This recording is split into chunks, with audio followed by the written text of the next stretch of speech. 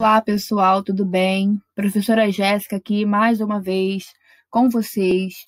É, tô louca para voltar às aulas para a gente poder ter esse contato é, pessoal, né? Assim, pessoalmente. É, hoje nós vamos tratar do capítulo 7, vamos dar andamento aí aos conteúdos. Hoje é o capítulo 7, que é o gênero épico. Na última aula, nós vimos o gênero lírico, né? E hoje vamos tratar do gênero épico. Na próxima aula será o tema, o gênero narrativo, cançãozinha aqui do gênero épico, tá? E depois o gênero dramático, ok? Passando aí.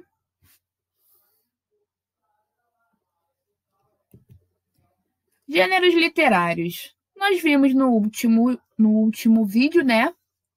Que os gêneros literários são o quê? Uma forma de organizar textos por características de forma ao conteúdo comum, né? São diferentes de gêneros textuais.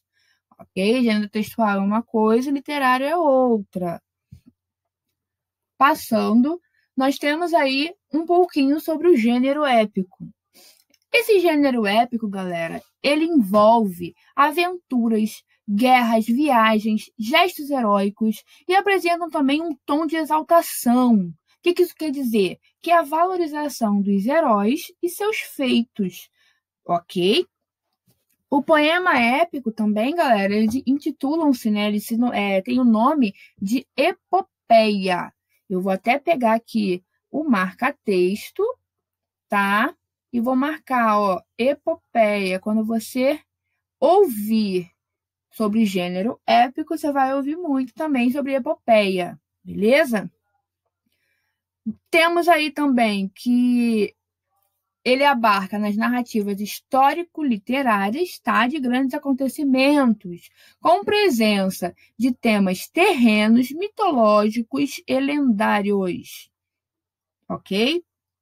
Aristóteles, né? Que foi quem começou a falar sobre os gêneros literários, diz que gênero épico é a palavra narrada, tá? Por isso que ele, com o passar do tempo, a gente não conhece, não fala muito como épico, a gente trata como gênero narrativo, tá? Porque com o passar do tempo ele foi perdendo esse nome épico e foi passando a se chamar de narrativo, mas não quer dizer, tá? Não quer dizer que ele deixou de se chamar de, se, de ser chamada né, de épico. Só tá como uma, vamos botar assim, uma um apelido, vamos botar assim, mais bonitinho, um apelido, o apelido do gênero épico é o narrativo. Que é a mesma coisa, vocês vão ver no próximo no próximo vídeo, tá? E é considerado como a mais antiga das manifestações literárias, ok? E de onde surgiu? O gênero épico surgiu lá por volta do século 7, 8 por aí, tá? Antes de Cristo, na antiguidade. Tinha como grandes representantes Homero, que é um poeta, gre um poeta grego, tá? Que foi considerado o fundador da poesia épica. E ele teve as duas obras mais conhecidas, que é a Ilíada e Odisseia, tá? E temos também Virgílio, poeta romano, com sua obra de Eneida, tá? Na Idade Média, temos também aí o gênero épico. Quem foi o grande representante dessa, dessa parte né, da Idade Média foi o italiano Dante Alighieri. Eu vou marcar aqui. Ui, passei sem querer. Vou pegar aqui a caneta. Na verdade, marca texto. Vou marcar aqui, ó. É bom vocês também anotarem, tá? Na antiguidade, os grandes representantes foram Homero e Virgílio. E na Idade Média, quem foi? Foi o Dante. Tá? E qual foi a obra dele? A Divina Comédia. Ok? Divina Comédia foi a obra do Dante Alighieri, que vamos ver aqui no próximo slide depois.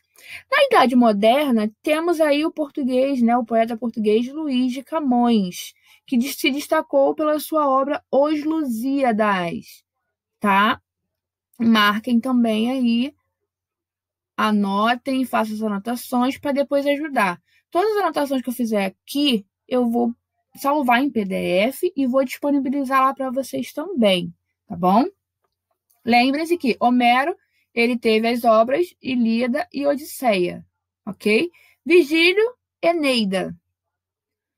Dante, Divina Comédia e Luiz de Camões, Dois Lusíadas, tá bom? Homero, vamos falar um pouquinho do Homero. Homero, né, ele teve as duas obras que eu citei no slide anterior. A obra Ilíada relata a Guerra de Troia, tá? Os acontecimentos da Guerra de Troia.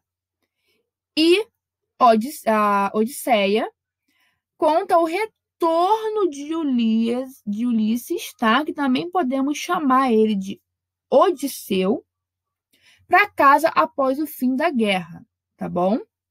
Então, o Homero, as duas obras dele mais conhecidas foram essa, que marcou aí o início do gênero épico. Dante. Dante teve aí como a obra Divina Comédia, né? E representa um dos maiores clássicos da literatura universal, tá bom? é um poema de viés épico e teológico da literatura italiana e mundial. Esse poema dele, né, esse, essa obra dele, foi dividido em três partes, que é o inferno, o purgatório e o paraíso. É uma obra muito interessante. Aconselho vocês a darem uma lida depois, tá? É, vale muito a pena, tá bom? Quem não tiver o livro, tenta pesquisar na internet, que vira e mete a gente consegue pegar alguns livros em PDF, né? Então, eu aconselho vocês a lerem. Luiz Vaz Camões. Os Lusíadas, né, que é a obra mais importante da literatura portuguesa, tá? Marquem também os Lusíadas. É uma das obras mais importantes da literatura de língua portuguesa. Tá? Foi escrita por um poeta português, né, que eu já citei o nome, que é o Camões, e foi publicada em 1572. Tá? O tema central da obra é o descobrimento do caminho marítimo para a Índia. Tá bom? Também é uma obra muito boa que eu aconselho vocês também a lerem. E as características desse gênero, professora? Os poemas são longos, tá? Mas a narrativa é em verso. Deixa eu pegar aqui. Caneta. Poema longo e narrativa em verso. O texto é narrativo, como eu já tinha falado. Toda o gênero épico ele é narrativo, tá bom? Lembrem-se disso. Os verbos e os acontecimentos sempre vão estar no passado, tá? Na maior parte das vezes, sempre não, na maior parte das vezes. Trata da mitologia grego-romana, tá? E fala também do sobrenatural, que são pessoas com poderes, né? Deuses, semideuses e tudo mais. Observação, que eu botei aí, que atualmente os, estudi os estudi Ih, meu Deus. Os estudiosos, quase que não sai a palavra, referem-se a esse gênero como narrativo, em detrimento do termo épico. É isso aí. Hoje em dia, utiliza, utilizamos o gênero narrativo. Geralmente, fala-se gênero épico e narrativo tudo junto. Eu ia até fazer isso com vocês. Só que como o livro de vocês dividiu, colocou o capítulo 7 como épico e o 8 como narrativo, eu preferi seguir o livro, tá? Mas geralmente a gente fala dos dois juntos, beleza? Então tá. Então vamos agora para os exemplos de texto épicos. Epopeia, como eu falei para vocês lá atrás, é um texto extenso, tá? É um poema extenso, épico, que é dividido em proposição, invocação, dedicatória, narração e epílogo. Ok? Então, a epopeia é dividida desta maneira aqui. O romance. O romance, galera, é uma narrativa extensa que apresenta personagens, tá? Olha a diferença. Apresenta personagens. Deixa eu sublinhar aqui também. Tá ruim de escrever hoje que eu tô num lugar diferente. Tempo e espaço definidos, onde as ações ocorrem juntas na trama, tá? Então esse é o gênero, né? É o texto romântico, um texto épico romântico.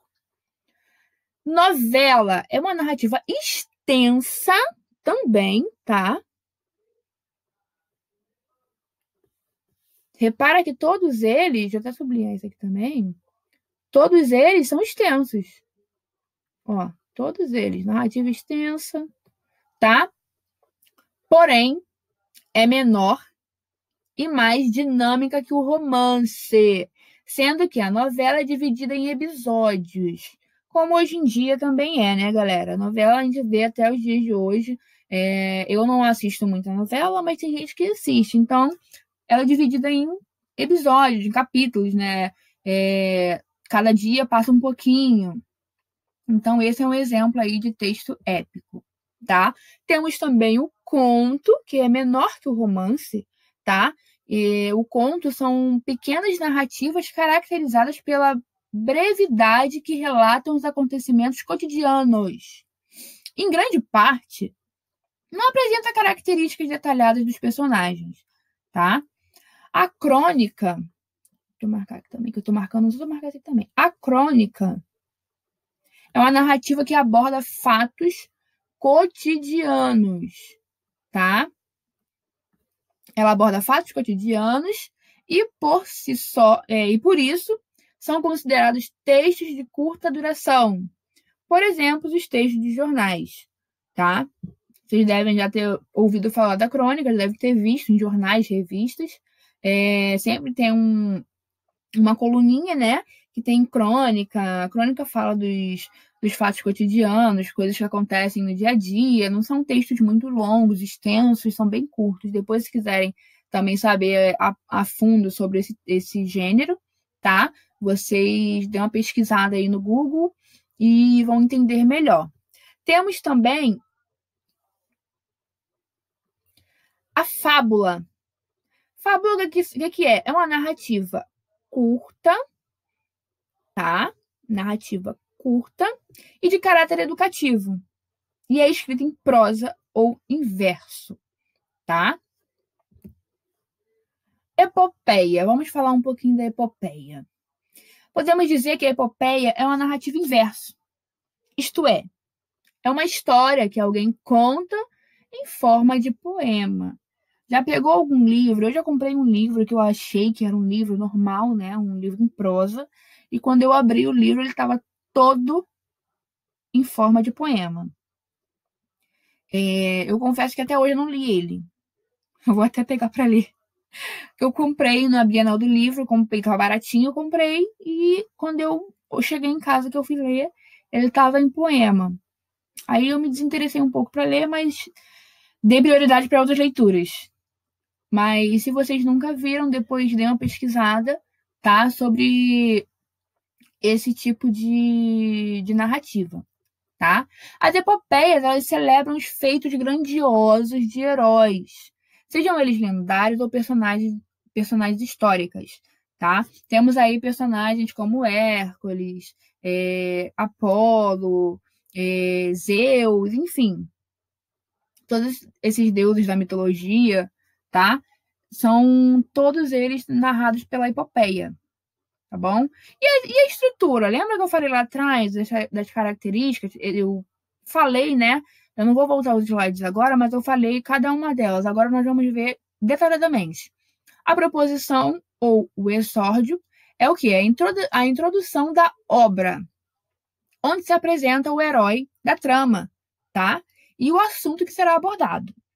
A invocação, já falamos desse aqui. A invocação, tá? É o momento que as divindades auxiliam o herói da epopeia, tá? É o momento ali que. Ai, que não tá querendo pesar. É o momento ali que os deuses, né, as divindades, auxiliam o herói. Ok? Dedicatória é a parte em que a epopeia é dedicada a alguém. A narração é a parte mais longa, tá? Que é onde relatos feitos daquele herói. E o, epí é, o epílogo é o encerramento da narrativa, é o final, ok? Então temos aqui a narração, o epílogo, né, dedicatória, invocação, tudo isso faz parte da estrutura da epopeia. Chegamos ao final. No próximo vídeo, nós vamos saber mais um pouquinho a fundo sobre a narrativa, né? Como que funciona, os personagens, o enredo e tudo mais. É, agora eu vou deixar com vocês exercícios de fixação, tá? Eu quero que vocês é, realizem exercícios do 1 ao 4, tá? Da página 508. Exercícios contextualizados da página 509, o 6 e o 7 apenas, tá? E o exercício de aprofundamento da página 511, número 12, ok? A entrega é dia 6, dia, desculpa, dia 9 do 6, ok? E a forma de envio, como sempre, foto das páginas, tá bom? Foto das páginas ou da resolução do, da, das questões no caderno. O importante é vocês fazerem, realizem as questões, assistam ao vídeo. Não deixem para a última hora, para não acontecer de vocês, sei lá, de aparecer um teste e vocês não saberem, ok? Tentem organizar o tempo de estudo para não acumular muitas matérias, tá bom? Espero que vocês tenham gostado, tenham entendido. Qualquer dúvida é só mandar mensagem e nos encontramos na próxima aula. Se cuidem, tá? E até a próxima. Beijos!